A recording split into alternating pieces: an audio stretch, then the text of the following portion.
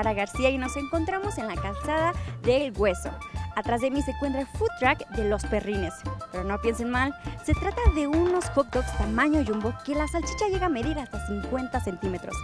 Ustedes deciden si les conviene o no. Acompáñame a conocerlos. Y bueno, hoy nos metimos hasta la cocina y conmigo está Jorge, uno de los fundadores de Los Perrines.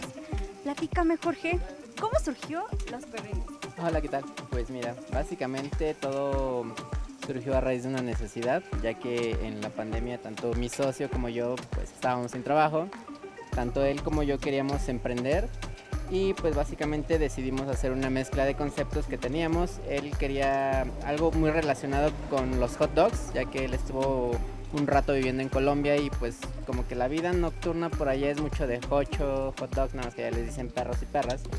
Y el concepto que yo tenía como de, era, bueno, era de hacerlo un, un negocio móvil. Entonces entre plática y plática salió que pues pusimos un food truck de hochos. ¿Me puedes dar un recorrido así por el menú? ¿Qué es lo que nos ofreces? Claro que sí, mira, tenemos lo que es el perro mugroso, ese es el más básico, ese es como para los que no son tan exigentes, por así decirlo.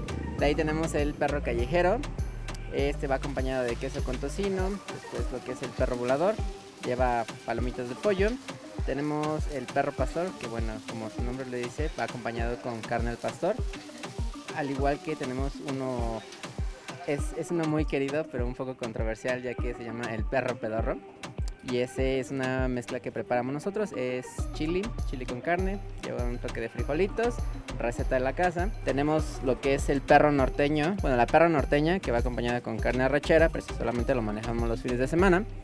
Y por otra parte tenemos el perro de la pradera, que es, lleva queso, tocino, va acompañado con pepinillos, aceitunas y bueno, a todo esto tenemos salchichas de 25 o 50 centímetros, los cuales son eh, salchichas de estilo polacas y son de cerdo.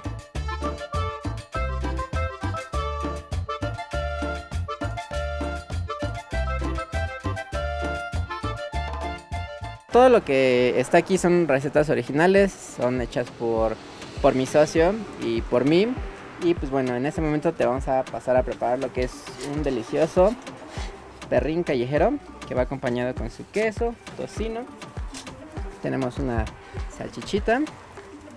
Y tú dime cómo quieres que te lo prepare, porque tenemos, eh, bueno, aderezos tradicionales, cats, mayonesa, mostaza. ¿Quieres que le pongamos todo eso? Sí, por favor, todo y árbol con ajo.